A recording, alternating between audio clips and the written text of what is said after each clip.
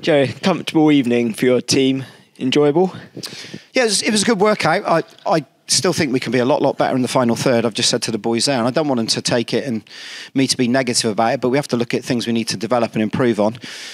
The big thing about this team at the moment now is over the last couple of weeks is that we've got a really good foundation. Even even when they could be excused for maybe switching off and going a little bit sloppy in some of their play, um, I thought I thought the back four and well, the back three, then the back five, then the back four, and then when we went down to ten because of um, Jordan, he's fine by the way. Um, it was it was only like two at the back or whatever we were playing. Um, I thought they defended really really well, and that's important. You must have a base in your team first. Um, so if I'm being a little bit picky, I thought I thought we had a lot of chances. Credit to Portishead actually, they, they were resolute, weren't they, in and around the 18 yard box as well. A few blocks, one cleared off the line. We've hit the poster several times. So, yeah, no, it's a, it's a good night's work. We've come through it, thankfully, with no injuries. And um, people have got minutes. Um, and, and again, like I said, those new players have got an opportunity to gel think it was only two changes from Saturday as well, so you really sort of set your intentions out. And it's a good confidence booster for some of these players as well. So Tom Smith's first goal since January, and Cody Cook back on the goal scoring trail as well, which is important. Yeah, that's key. Yeah, I mean Alex off the back of his as well on the weekend. So um, no, it's important. It's important these boys um, they keep their confidence high. They know they know we're not quite at it.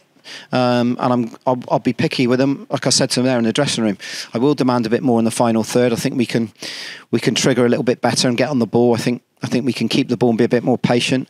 I have to say, I think Elliot Frear was outstanding again tonight. I mean, he's he's looking in some real fine form. The amount of balls, uh, God knows how many balls he's put in the box, and they're real dangerous ones. There's one right here where Cody should score first half, where he shaped it from a good 30, 40 yards out in and behind their back line. Real quality. And what he's got is he can go past someone in a 1v1. He slows up defenders really well we just got to get our timing right. I feel like we're getting in there too early. When they start to build those relationships, Elliot, you know that he's going to go in. You know he's going to slow the defender down. You know he's going to go again. Um, so we've got to get our timings right, even tracking as a midfielder coming in for the pullbacks.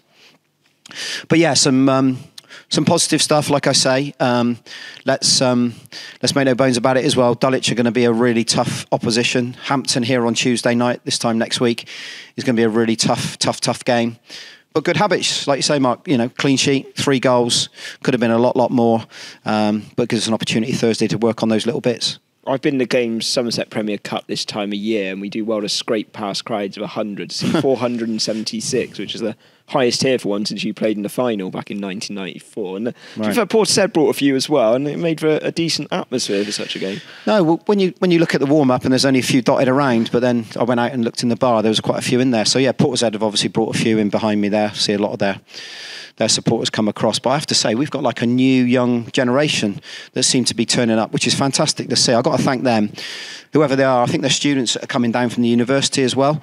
Um, so yeah, keep coming back. They make such a difference, as you said. 400, 470, did you say? 476. 476 and a Somerset Cup game is just phenomenal. So um, yeah, let's hope that we keep improving.